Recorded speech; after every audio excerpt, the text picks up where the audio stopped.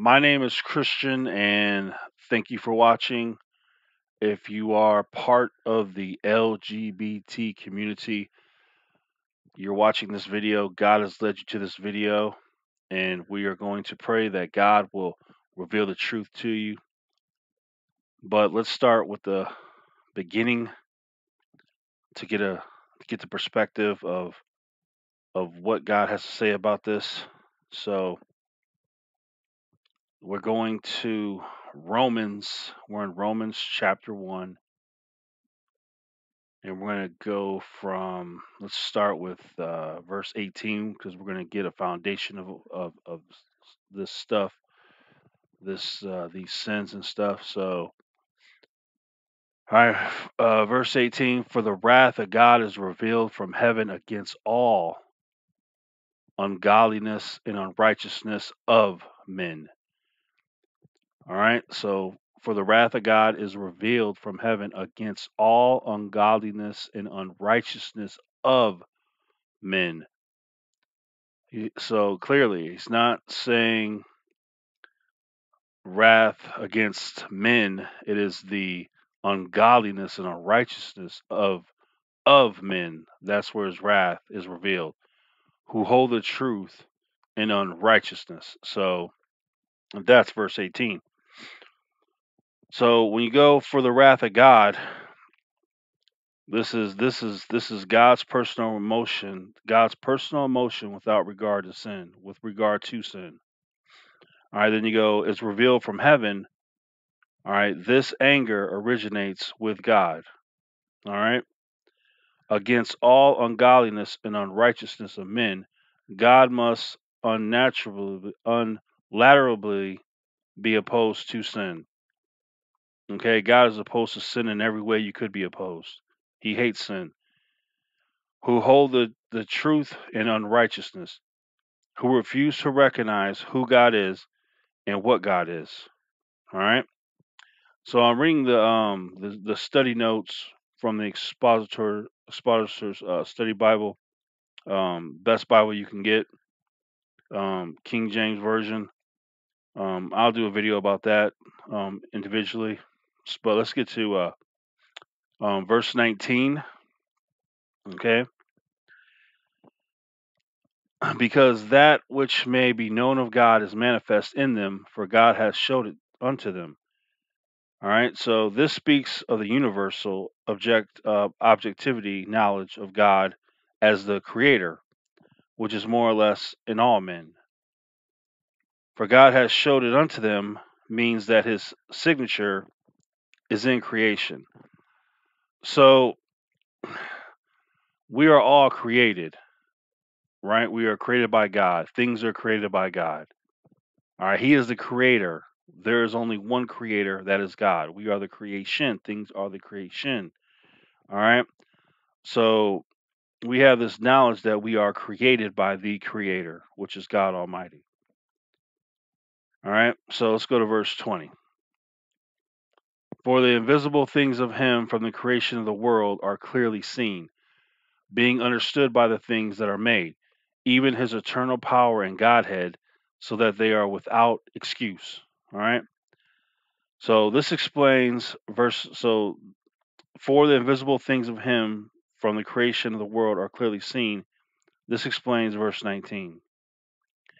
Being understood by the things that are made, creation demands a creator, even his eternal power and Godhead, so that they are without excuse. The creation tells us of all eternal power of God and is obvious to all.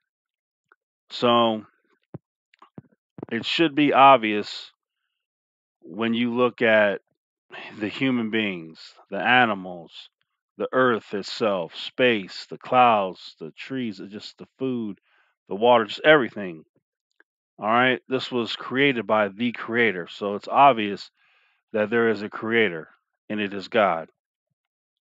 All right, so now we go down to 21. Now, once again, we're setting, I'm setting up something. I'm setting up um, what God, how God feels about sin, all sin. Okay, so just, so let's go. Um, because, so verse 21, Because that when they knew God, they glorified him not as God, neither were thankful, but became vain in their imaginations, and their foolish heart was darkened. This is apostasy.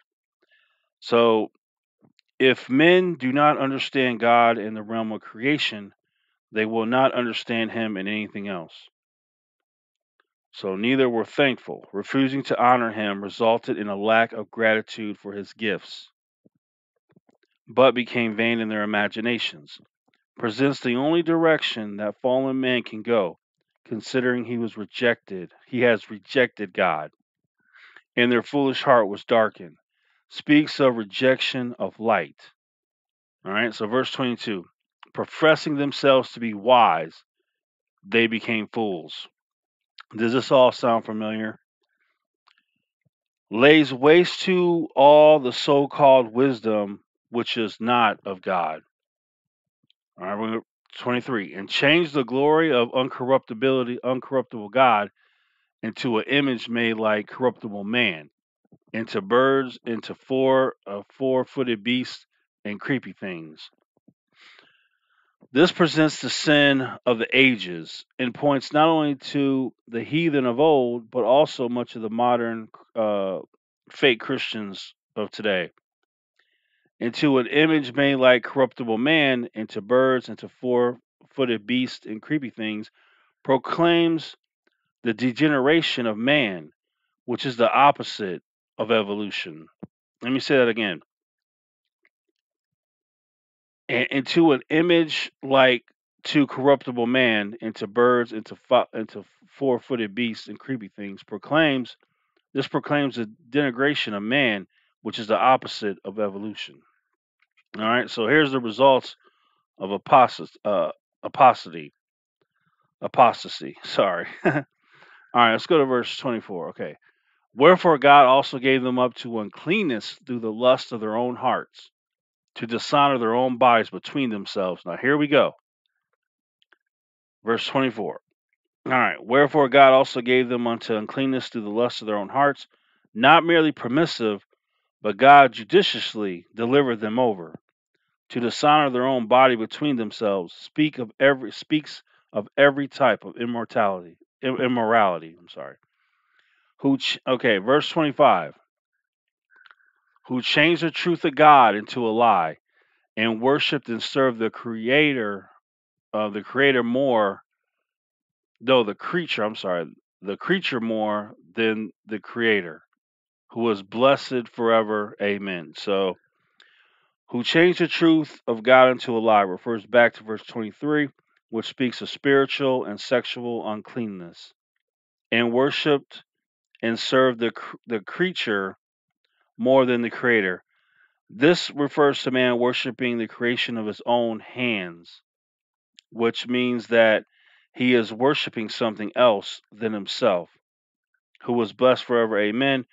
Should have been translated blessed, two syllables, because it is referring it refers to the one doing the blessing, in this case the Lord. All right, so verse 26. For this cause God gave them up to gave up gave them up to vile affections, for their own women did change the natural use into that which is against nature. But let's go back to here real quick. So um you notice so god gave them up gave them up to uncleanness through the lust of their own hearts so these lusts were already in their own hearts and god's giving them giving them up to that. These people who refuse god who refuse the truth.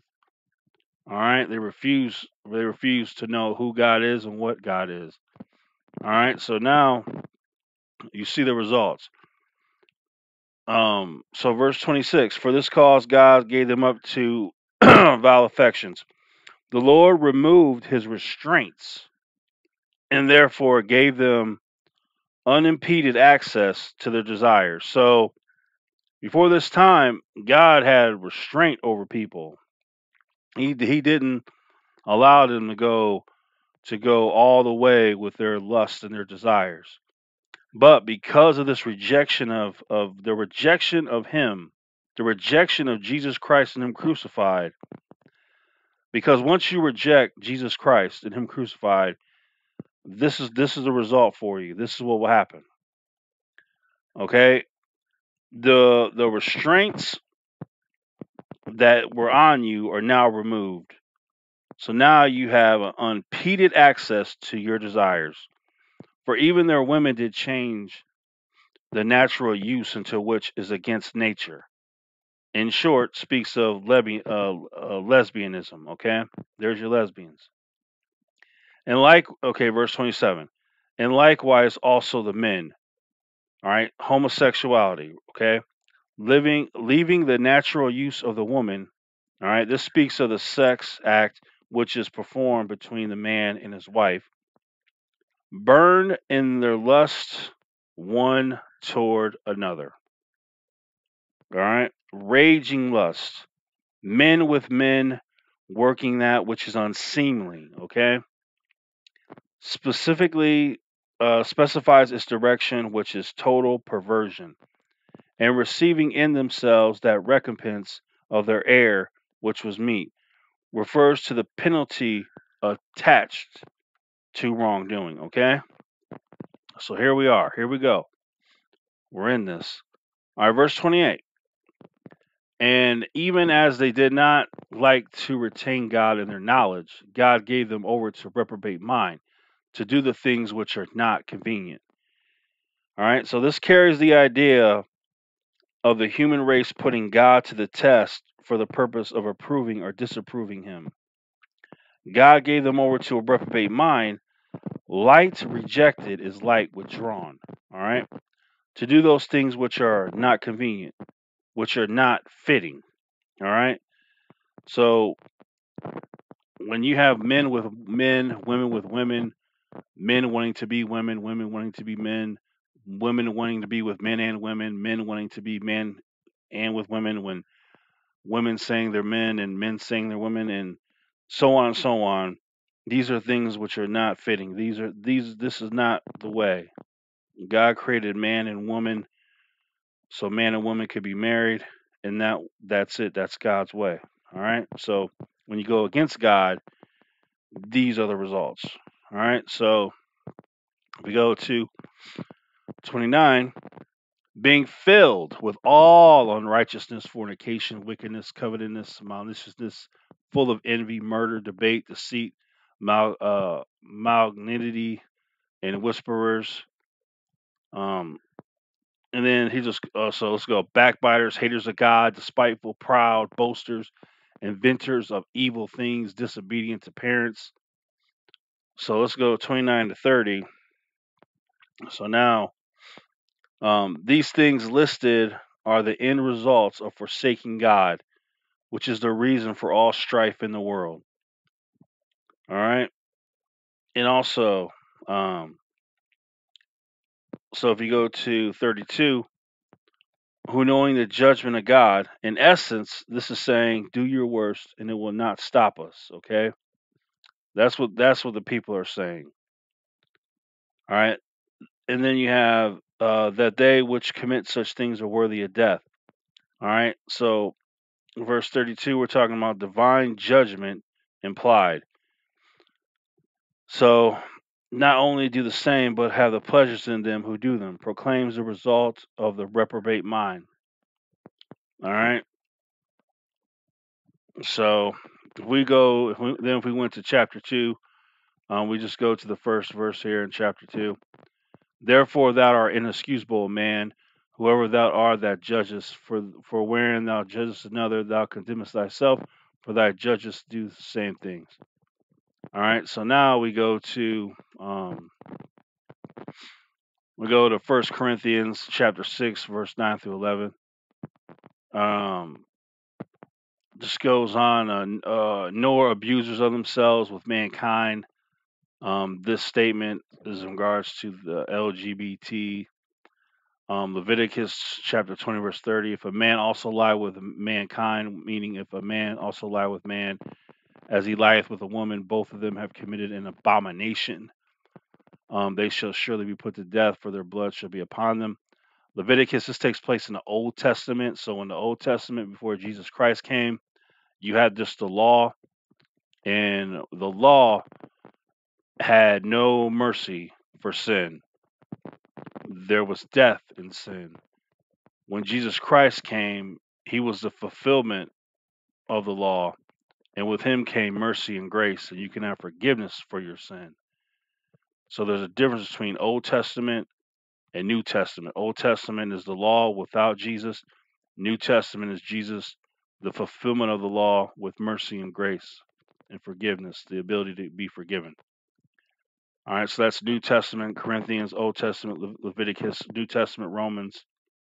For this case, God gave them up unto vile affections, for even their women did change that natural use which is against their nature. And these are other scriptures. Um, but from the beginning of the creation, God made them male and female. Um, then we go to Jude, even as Sodom and Gomorrah and the cities, uh, cities about them in like manner, giving themselves over to fornication and going after strange flesh. Um, set forth an example of suffering the vengeance of eternal fire. That's Old Testament. Um, so in Sodom and Gomorrah in Old Testament, that was uh, pretty much what's going on now, and will and it will become even worse. Uh, during this time, men and women not only men didn't not only did men lay with men, women with women, but they were also lay with animals. Um, they would do all they would do anything perverted that Satan could come up with. All right, so we have other verses here. So um, so we say all that to say this. All right, let's say all that to say this. God hates sin. God will not accept sin. Period. God so loved the world that he said he sent his only begotten son to die on a cross so that we could be saved. So God hates my sin. When I sin, God hates my sin. But I can have forgiveness because of Jesus Christ and him crucified. When you have Jesus Christ as your Lord and Savior, you can have forgiveness. Okay? But let me say this real quick. The only way you can be saved by Jesus Christ and Him crucified is by God the Father drawing you to His Son, acknowledging this drawing, and then accepting you are a sinner in need of the Savior, Jesus Christ. That's the faith God gave you. Faith in what His Son did for you on the cross. Then you can become saved. So, right now, what Satan is really making a push on is trying to pervert the Word of God you'll hear people of the LGBT saying things like, Jesus loves everyone no matter what, and it's okay. You could do whatever you want to do. But that is a lie from the devil. The devil is lying to you. God hates sin. He loves you. He loves you so much that he sent his only son to die for you, and he wants you to come to him and be saved. God will not accept sin. He will not. He hates sin. All right. You, this is what this is what we have to understand. This is all sin. So right here, when God calls this an abomination, uh, the LGBT an abomination. All right. What abomination? What does that mean? That means the most grotesque, the most disgusting, the most vile. That is that is just the worst. It's an abomination because what Satan does Satan always goes against God. He always wants the world to go against the ways of God. So God says, I created man and woman. So Satan says, let me pervert and corrupt what God made. Let me have men and men and women and women and so on and so on. This is a perversion of all creation. This is a this is a very um very serious thing here. So God created Adam in his image He took a rib from Adam, created woman in man's image. And this is the creation of God man, woman. Satan comes in and he ruins it. He has influenced and led people into abominations. So you'll see um, fake Christians will accept any form of sin, they'll embrace it. This is, once again, this is of the devil. These people are not Christians, these are devils claiming to be Christian. Um, you'll also see fake Christians, they'll do protests, they'll say um, they want all LGBT, LGBT people to die. They want them to be hurt. And and this this once again these are not christians. These are devils claiming to be a christian god is not a hateful god. God god has no hate towards us. He hates our sin but he does not hate us the individual. He hates our sins. So a real christian would not say those things to to, to people. What a real christian says is to the lgbt community I pray that God Almighty reveals His Son Jesus to you. And by this truth, you will see the sin you're in and the need of the Savior, Christ Jesus. And through this faith in Him, through the grace, you will be saved and delivered out of this LGBT life.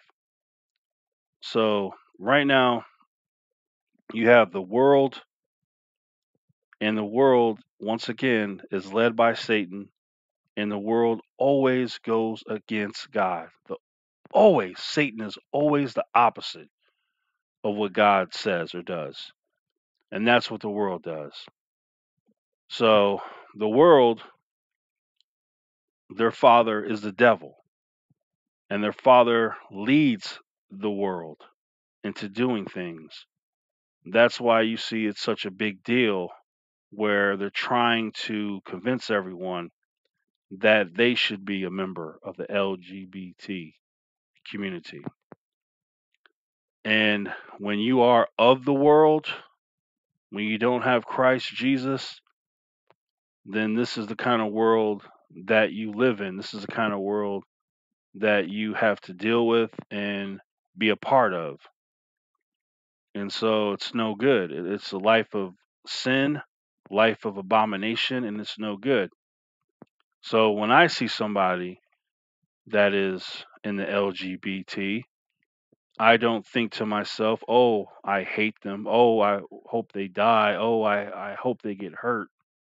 When I see them, my soul cries out for them. I say a prayer right then and there that God would would deliver them, would would touch them, would lead them to his son, and that they would see the truth and that they would be saved because what a testimony it would be. A testimony they could give. And and thank God Almighty that there has been former LGBT that have been saved, that have been delivered and give testimony. So, but Satan, he he's a liar, a deceiver, and he will do all that he can do to lead who would be led into a lake made of fire where they will burn forever and ever. And I don't want anyone to have to do that. It's not God's will that anyone should die lost and go to hell. It's not his will, but we have free will to choose what we will believe. Okay? And so this is a uh, very serious um, situation going on around the world and in the country. And